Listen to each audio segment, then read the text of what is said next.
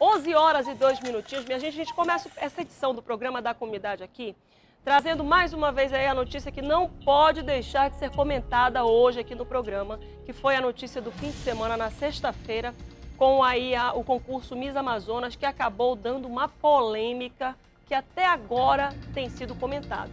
Hoje a gente já viu aqui nas nossas televisões, já foi notícia nacional aí nos programas nacionais e esse assunto ainda vai render, viu? Tudo porque a segunda, coloca, a segunda colocada do concurso, inconformada com o resultado, arrancou, tomou, levou e jogou no chão a coroa do primeiro lugar. Vamos ver aqui na tela? As duas finalistas aguardavam o resultado de mãos dadas, mas quando a vencedora recebeu a faixa e a coroa de Miss Amazonas, a segunda colocada se revoltou arrancou a coroa, jogou no chão, apontou o dedo para a campeã e deixou o palco. Parte da plateia chegou a aplaudi-la. No camarim, Xislane Ayala desabafou. E realmente, gente, não acredito que uma candidata que não consegue ficar sem seu maquiador, ficar sem sua mãe, ou ficar sem qualquer pessoa 24 horas se ajudando, ajudando ela, no caso, possa ganhar um concurso e nem menos poder representar o Amazonas no Miss Brasil. Peço mil desculpas se alguém não gostou da minha atitude, mas realmente eu fiz o que estava no meu coração. Ela deixou o salão em meio a muitos aplausos e vaias. Miss Amazonas, Carol Toledo, preferiu não dar entrevista. Mirela Barca, que também disputou o concurso e venceu a categoria de melhor traje, viu tudo de perto. Eu acho que a outra candidata, ela não iria fazer à toa. Se ela fez, ela teve bons motivos para fazer, até porque sempre tem uma certa instigação nesse meio as pessoas de fato nunca sabem dos bastidores e do que de fato que acontece no palco. De longe, você vendo as imagens é uma coisa, agora você não sabe o que a pessoa fala, você não sabe o que a pessoa está fazendo e você, na verdade, as, as pessoas não sabem de fato o que aconteceu. 11 candidatas disputaram a final do concurso. A edição de número 60 foi realizada no Centro de Convenções do Amazonas. A organização do evento não quis comentar o ocorrido. E também não informou se Xlane vai perder o segundo lugar pela reação inesperada. Gente, óbvio que a gente não podia deixar de comentar e principalmente a gente estava discutindo ali no, no, no, nosso, na nossa redação ali com o diretor. Diretor, acho que já deu esse negócio. Não, não acho. Sabe por quê? Porque eu quero ouvir você que está aí do outro lado. 3307 3951 e 3307 3952. Nossos dois telefones estão aí abertos para você comentar essa ação. E enquanto você liga, algumas informações aí foram, é, foram relevadas nessa situação toda. Primeiro, a gente conversando aí com algumas misses, algumas candidatas aí do concurso, algumas delas disseram que essa polêmica toda que foi gerada em torno da Xlane, junto com a Carol Toledo, que foi a, a vencedora do, do Miss Amazonas, e, e eu quero deixar bem claro aí que eu acho as duas lindas, as duas são lindas, mas eu estava torcendo para minha querida Rossi, que trabalhou com a gente aí, estava todos os domingos junto com a gente, que eu acho linda, estupenda, mais linda do que qualquer outra. A minha queridíssima Rossi Souza, que, também competiu e ficou em quinto lugar. E eu quero dizer para vocês aí do outro lado que é, existe algumas polêmicas em torno dessa, dessa ação da Xlane, porque parece que alguns benefícios foram concedidos a Carol Toledo. E eu vou dizer isso porque a nossa produção tentou várias vezes manter contato com a produção do Miss Amazonas para tentar contrapor essas alegações e em nenhum momento a produção manteve contato conosco. Muito pelo contrário, pegaram as duas, recolheram as duas ali e a imprensa aí, pelo menos nós aqui da TV em Tempo, não conseguimos manter contato com as duas, o que eu acho um absurdo porque as outras emissoras conseguiram né? Então isso eu estou trazendo aqui como crítica mesmo, porque eu acho que se abriu esse comentário aí para as outras emissoras, a gente também tinha que conversar. E nós conversamos e ninguém deixou a gente conversar com elas. Enfim, com a primeira e com a segunda lugar, que foram as causadoras das, da polêmica. Mas diziam aí que a, a, a, Carol tinha alguns benefícios. Por exemplo, o maquiador era geral para todo mundo, a Carol tinha um maquiador só para ela a família não podia ficar ao redor do palco, a família da Carol ficou ao redor do palco e por isso que teve essa confusão toda. Agora, não, não, a, a, o diretor está me perguntando aqui, se ela podia, se ela tinha condições de ter esses benefícios, ela não podia ter condições financeiras, né? De acordo com a organização do evento, justamente para que nenhuma candidata fosse beneficiada por determinados é, cuidados especiais, era proibido que qualquer candidata levasse seu staff, seu maquiador. Ele, ela tinha que se submeter ao staff do concurso, da organização do concurso, como todas as outras. Até porque, sim, até porque todos os outros, todos os outros ali que estavam envolvidos, tinha candidata que não tinha condições. E porque ela não tinha dinheiro, ela ia ser é, prejudicada por causa da condição financeira da outra candidata. Não sei como é que está hoje, porque muitas coisas mudaram. Mas na época que eu desfilei, desfilei, ganhei lá. Posso dizer, diretor, o nome do concurso? Ganhei lá o, o, o, concurso do Peladão em 95. Faz tempo, viu, minha gente? Queria dizer não que tempo que era, mas foi em 95. Participei duas vezes. No, na primeira vez que eu participei, em 94, fiquei em segundo lugar e não arranquei o manto nem a faixa de ninguém. Foi a Jane Pinato que ganhou aí o, o, primeiro ano que eu participei, em 94. A Jane foi a rainha do Peladão. No segundo ano, que foi em 95, eu ganhei e teve também uma baixariazinha que o Ivan tava lá. Eu não vi, ouvi comentários depois, depois vi o vídeo. Né? Quando ganhei, teve uma das candidatas que acabou jogando tudo que estava no chão, aí saiu correndo, mas não partiu para cima de mim, ainda bem. Né? Porque senão eu tinha corrido, que a mulher era alta, tinha 1,80m, era uma, uma, uma coisa horrorosa.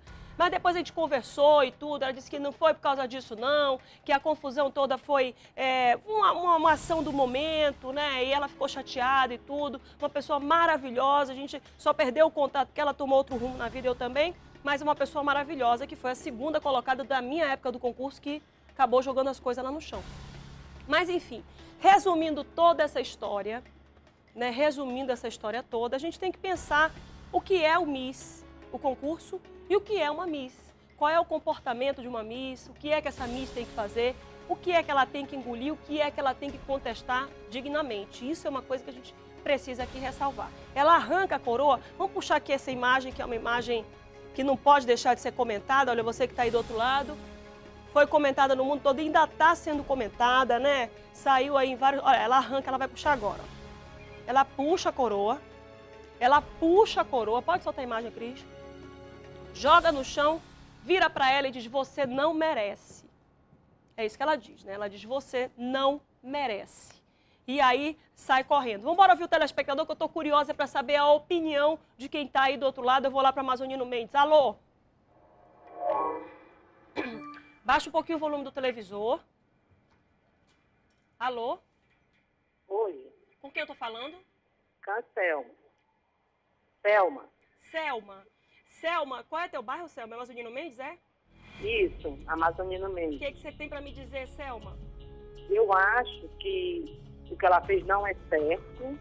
Eu acho que ela não poderia participar do, do, do segundo, né? E que eu acho que é, isso daí foi muito feio que ela fez. Tem sempre ter a vez as pessoas, ela devia respeitar. Foi Selma. muito feio. Selma, você acha então que foi. não foi certo o que ela fez, não é isso? Não, foi não. Foi muito feio. Foi feio, ficou feio. Ela devia mostrar a educação dela, né? Tudo pela primeira vez. Exatamente. Né? Obrigada, Achei Selma. muito feio. De muito nada. obrigada, Selma. A gente já traz a primeira opinião do nosso público aí, do telespectador, que é a Selma lá do Amazonino Mendes e que diz que ficou feio. Ficou feio, gente. Olha, eu vou falar uma coisa para vocês independente dos motivos, independente aí das razões que todas elas tinham. Muita gente aplaudiu, inclusive as outras candidatas também aplaudiram. Na minha opinião, ficou feio, né? O diretor está me atualizando algumas informações aí, vai atualizando aí a informação. Que foi o que eu falei. Olha a confusão porque foi que deu, viu, gente? A Gislane alegou, e isso ela mesmo contando, que che chegou, se as candidatas chegaram a questionar da organização do evento, se podia levar os seus maquiadores, porque, gente, os maquiadores pessoais de cada candidata conhecem já os defeitinhos, já vai corrigindo aqui, faz a maquiagem que melhor fica bem no rosto de cada uma. Então elas questionaram isso da organização do concurso e o concurso negou, negou que elas pudessem levar seus maquiadores. E para Carol não foi negado, que a Carol tinha dois, três maquiadores segundo informações aí das candidatas. Então, foi concedido um privilégio, foi concedido um privilégio. E aí essa foi a revolta da Miss. Por isso que a Miss ficou aí tão revoltada e agora está se explicando, está tentando contar a história. Eu vou dizer uma coisa para vocês, eu acho que não precisava chegar a tanto, né? Porque ficou feio para ela. Mas se elas estavam revoltadas, eu acho que era a questão de juntar, ir lá na organização do evento, tentar fazer alguma coisa. Mas uma coisa vocês podem ter certeza, viu, minha gente? Ela tá mais famosa do que a Miss. A mais famosa do que a Miss. A gente já manteve contato aí, ela vai aí para as redes nacionais tentar explicar a situação, contar a versão dela da história. Estão aí ouvindo a Xlane aí para tentar saber o que, que é. Uma candidata que já ganhou aí vários concursos, inclusive mundiais, né? Concursos aí nacionais. Enfim, Tá dado o recado, você que está aí do outro lado. Tem mais alguém aí no telespectador do programa da comunidade, diretor, para poder comentar com a gente isso aí? 3307-3951, 3307-3952 são os nossos telefones para contato. Alô, telespectador na linha do programa? Alô? Do Santa Etelvina, alô, pode falar, meu filho. Eu, eu, gostaria de, eu gostaria de falar que eu, eu achei muito feio o que ela fez, eu não gostei. Ela sendo uma MIS, né? é, representando o nosso Amazonas, a sociedade amazonense, eu não gostei do que ela fez. Eu achei uma ignorância, entendeu?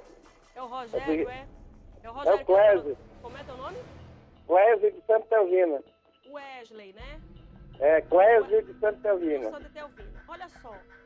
A Gislone está comentando aqui que a grande revolta de todas as candidatas era justamente essas proibições que elas tinham e que a Carol não tinha. Né? A gente está uhum. trazendo aqui também essa, essa questão, viu, Wesley? E realmente isso é uma coisa que precisa ser discutida aí e ela diz isso. Então acho que a organização podia ter evitado toda essa problemática, viu, Eclésio? Eu sei. Obrigada pela participação, viu? 11 horas e 14 minutos. Diz aí para mim, diretor.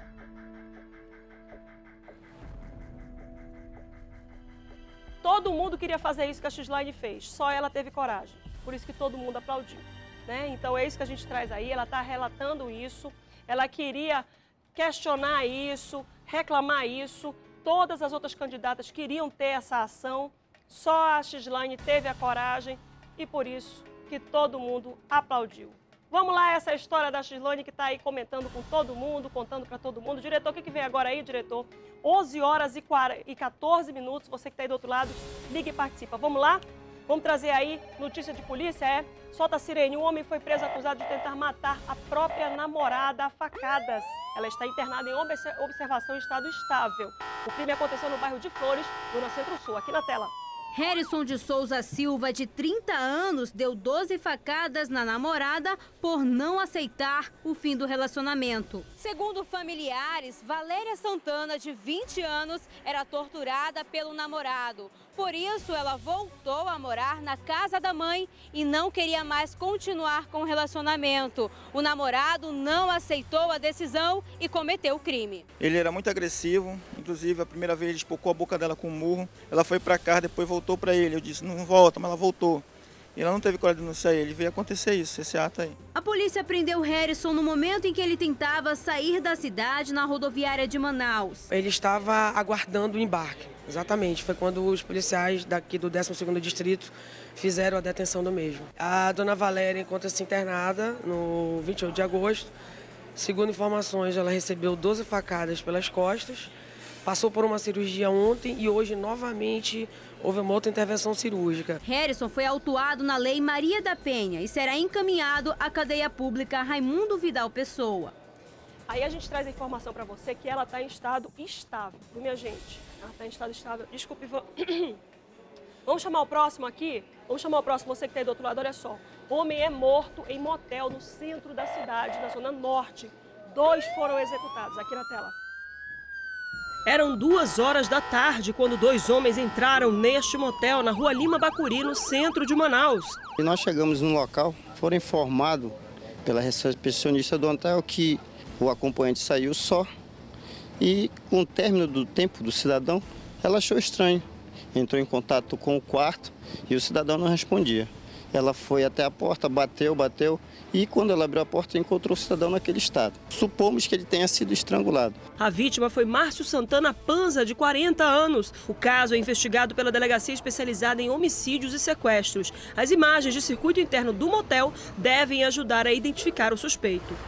O outro homicídio aconteceu no Riacho Doce 1. Por volta das 6 horas da manhã, Jorge Pinto Amora, de 26 anos, foi morto com três tiros. A polícia suspeita que tenha sido acerto de contas. E no Amazonino Mendes, Mauro Pires de Souza, de 39 anos, foi morto também a tiros. Segundo testemunhas, dois homens chegaram em uma moto e efetuaram três disparos. Mauro foi atingido com um tiro na cabeça e o restante no abdômen. Final de semana violento, é isso que a gente traz para você, o balanço do final de semana. Muitas mortes. Agora a gente vai para a denúncia da comunidade com a Tatiana Sobeira. Tá pronta, Tatiana? Tatiana Sobeira, tá, tá pronta, Tatiana? Bom dia, Tatiana. Tá no Campo Dourado. Qual é a denúncia de hoje, Tatiana? É isso aí, Márcia. Campo Dourado 2, zona leste de Manaus, bem próximo ao Riacho Doce, zona norte da cidade. A denúncia que vem daqui, Márcia, além da falta de infraestrutura, a preocupação com relação à segurança. Nós estamos precisamente aqui na Rua Vênus, aqui nesse ponto, só para mostrar o detalhe da rua. Para as pessoas andarem aqui no local, aqui é uma via onde passa ônibus todos os dias e por várias vezes. Aqui nesse local, além da falta de trafegabilidade, também as pessoas sofrem insegurança. Moradores moradores dizem que não sabem o que é paz durante o dia e durante a noite, porque nas casas deles, eles dormem e não sabem se acordam com segurança. Assaltos a qualquer hora do dia. Seu Francisco, que foi o denunciante, ligou para o programa da comunidade. Seu Francisco, vem aqui comigo. A sua preocupação já vem de anos. O senhor foi um dos primeiros moradores daqui do local. O senhor disse que há dois anos está dessa forma? É, realmente há mais de dois anos, né? Porque a última vez que eles fizeram né, um recapeamento aqui de, de asfalto. Porém, a rua principal é a que sofre, é onde passam os ônibus. Principalmente essa descida, onde os ônibus brecam muito e o asfalto de péssima qualidade faz com que fique nesse estado aqui precário, entendeu? Vocês já chegaram aí com Buriti nas, lá na, no Distrito de Obras e qual foi o posicionamento da Prefeitura com relação à situação daqui? Bom, eles, eles falam, né, eles falam que já mandaram lá na, na planilha dele, já está como se fosse feito e, e que tem um tempo para eles passarem novamente. Só que esse período chuvoso, que é o tempo do inverno, nós sofremos muito porque apesar de ser de péssima qualidade o trabalho deles, né? É, a estrutura da, do, do, trabalho deles também não, é, não ajuda muito. Mas lá está escrito que aqui já foi concluída a obra, né? E eu não estou vendo que nem meio fio tem? Nem meio fio tem, quer dizer, a primeira vez que colocaram, já, o, que, o que eles tinham colocado há muito tempo, há quase é, 3, é, 15 anos atrás, já, já foi embora, né? Porque você vê que aqui é uma área que, que sofre muito com a pancada de chuva. Agora, pancada de chuva, massa, e olha só isso daqui. Para andar aqui no local, os buracos, a gente vê ainda a estrutura de alguns carros que passam por aqui. Você verifica aqui, olha, em toda a estrutura o buraco. Nosso carro tentou chegar aqui, mas foi difícil, viu? Ficamos quase pelo meio do caminho. Mas as pessoas também reclamam da segurança. Vocês são moradores há muito tempo daqui. Dentro de casa também é difícil para ficar seguro, né? Dentro de casa também. E muito assalto que está tendo. A nossa área aqui está muito muito assalto, muito roubo, mato, a gente não sabe quem é. E saúde. Márcia, aqui nesse ponto do Campo Dourado, antes existia uma UBS, bem próximo aqui. Dessa UBS que foi desativada, os moradores tiveram que sair daqui e tem uma peregrinação para chegar aos postos de saúde, que é um outro posto no outro bairro. É, é lá no Gadelha, lá para a banda Gadelha ali do... o que foi feito da UBS que tinha aqui? Não foi feito nada. Desativado, né? UBS não existe. Não, existe. Saúde de vocês, vocês têm que se virar. A né? nossa saúde tem que se virar. Porque a UBS que tinha aqui, eles transferiram para ali. As pessoas que ficaram na área daqui da, da, da, da esquerda ficaram fora da área da saúde.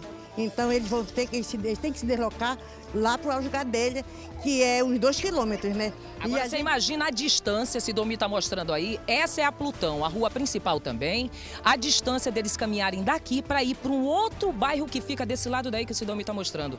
Isso aí, uns dois quilômetros andando? É mais ou menos isso, andando ou, ou se arriscando de madrugada com, moto, com mototáxi, né? Que é. Essa área aqui é escuro É, também. né? é escuro também. Então a gente sai daqui para ir para a jogadeira para lá, né? Esse ponto que o Sidomi está mostrando é um campo de futebol criado pela comunidade, é onde o local só tem este ponto de lazer aqui. Fica bem claro, estamos no Campo Dourado 2, próximo a uma área de preservação ambiental. Os moradores buscam por meio de incentivos e eles próprios pegam as criançadas aqui para retirar os meninos da rua, tirar os adolescentes. Para poder bater uma bolinha, né? Você é um dos praticantes de esporte aqui, né? Sim. Qual é teu nome? Davi. Davi, quantos anos você tem? 12. 12 anos. Aqui nesse local, vem comigo, Davi. Márcia, daqui a pouco a gente vai falar também sobre a cobrança de impostos. O Davi é uma das pessoas que caminha e joga futebol aqui diariamente, não é isso, Davi? Sim. Você e quantos coleguinhas? Máximo uns 15. Se vocês tivessem que pedir aí uma mudança para o bairro, seria para ajeitar esse campo para vocês? Sim. Tirar os matos e rede O lixo nas traves. Márcia, o lixo, fim de semana, fica acumulado, prejudica as crianças também. Para jogar futebol, jogar de tênis, jogar descalço é um perigo. Mas daqui a pouquinho a gente retorna falando outras informações daqui do Campo Dourado 2, como nós bem vimos. Além da falta de infraestrutura, também a questão de saúde. Sem o UBS e também as condições para prática esportiva, onde não existe uma área de lazer sequer aqui no Campo Dourado 2. Retorno com você nos estúdios, Márcia. Obrigada, Tatiana. E lembrando que, além da saúde, que é obrigação constitucional, lazer também é obrigação constitucional. A pessoa não vive, vive de educação, vive de saúde, mas também vive de lazer. Que a pessoa precisa ter aí esse momento de descontração com a família e com os vizinhos. 11 horas e 23 minutos, você que tem do outro lado pode ligar e participar. A pessoa falou tanto da Miss que engasgou, né? Aí que foi mal olhado, né, gente? Problema, viu? 11, 11, 23. Enquanto você liga, eu vou te dar uma dica. Vem aqui comigo. Segundo mês do ano tá começando e não adianta ficar aí reclamando de mimimi do passado não, viu? Tá na hora de você melhorar de vida e realizar esse seu sonho de ter uma motocicleta Honda. A hora é agora. Veja como é simples realizar esse seu sonho. Com o consórcio Honda é muito fácil e barato comprar sua moto Honda, com parcelas que cabem no seu bolso. Olha só, CG 150 Titan ESD a partir de 161 reais mensais. CG 150 Fan ESDI a partir de 148 reais mensais. E tem mais vantagens. Fazendo seu consórcio Honda este mês, você ganha na hora essa linda camiseta. Olha só. Que legal, né? Olha só que linda camiseta. Invista seu dinheiro com segurança em uma empresa séria e confiável. O consórcio Honda é a maior administradora de consórcios do Brasil e entrega mais de 35 mil motos todos os meses. A próxima pode ser a sua. Vá correndo a uma concessionária Honda. Não perca tempo e faça já o seu consórcio Honda. O programa da comunidade vai para o rápido intervalo. Já já a gente está de volta, hein? Não saia daí.